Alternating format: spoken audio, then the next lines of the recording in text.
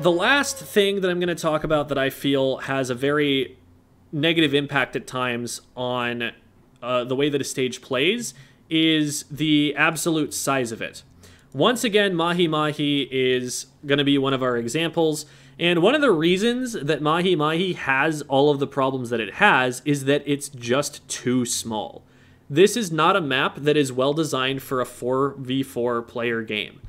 This would be better for maybe like two or three players, but at this size, there's just not enough places to stand. You put one person behind this cover, and now that cover is used up and there's no place else for anybody else to stand. Maybe they stand like one here and one here and that where does the last person go? They're going to be in a redundant position a lot of the time. Um, so this was a stage that was just too small and doesn't have enough options so you can just always see everything with something like an E-liter. um, there's sort of a similar problem although it's more of a choke point issue with Eeltail Alley where the map is too narrow but also too long. Um, so it takes really long to traverse into mid, which is the problem if a map is too big, but the map is too narrow, so the whole thing can get locked down by a single crab tank, which happens to be a problem on a lot of the maps that are too small or too full of choke points. Now, the opposite of this problem, which I'm glad we don't really have in this game, is Moray Towers.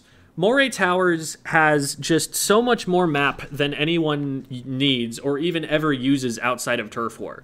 Um, this entire series of two bridges right here is basically pointless um, because any objective mode goal is not going to be anywhere near these two positions. Um, I, the closest that you're going to get to this is the Rainmaker goal here, so I guess maybe some e-liters would use bats when they needed to contest this area, but overall, these areas were completely redundant. You could have chopped these whole bridges off the map, and it would have been a significantly better map. Um, one of the things that really made this map better in Clam Blitz was that the baskets were just down here in what's marked as Old Zone. Um, and that made the map significantly smaller for the most part, which made it a lot more fun to play. It still had some problems though, because one of the biggest issues with a map that gets too big is that it takes too long to traverse. And one of the beautiful things about Splatoon is that when you get splatted, you're back into play very quickly. They even gave you this sort of semi teleport where you get to jump to your teammates, and as long as they're in a safe position, then you're able to get back in. But as soon as your team gets wiped, everybody has to swim all the way back in, and on a map that takes this long to traverse, it could take like 10 seconds just to get from your spawn all the way down to snipe, eh, all the way down to where you can shoot at someone again.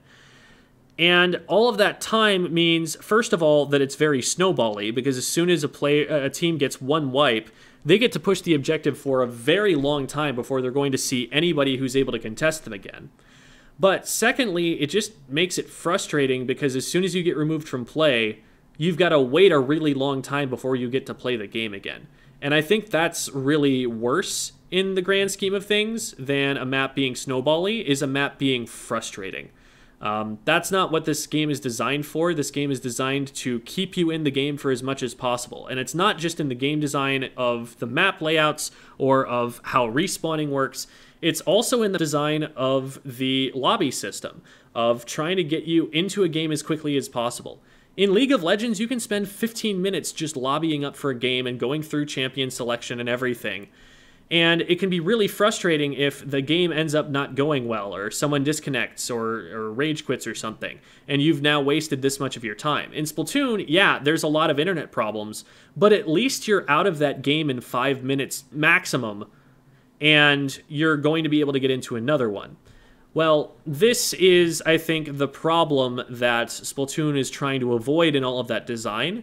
It wants to make you feel like you always have agency, like you're always going to have another chance, and a big map like this size isn't going to give you that.